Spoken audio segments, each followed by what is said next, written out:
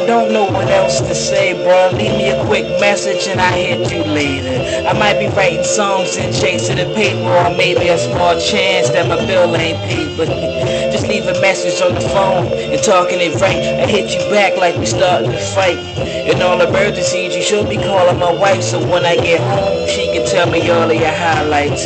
But if it's just a call on the casual, you know all the possibility and things I have to do. Another voicemail coming from the rapper dude. So leave a message and promise I will get back at you. Yeah, yeah. Tell me I ain't crazy, man. Who puts that voice message on it? Your boy, yeah.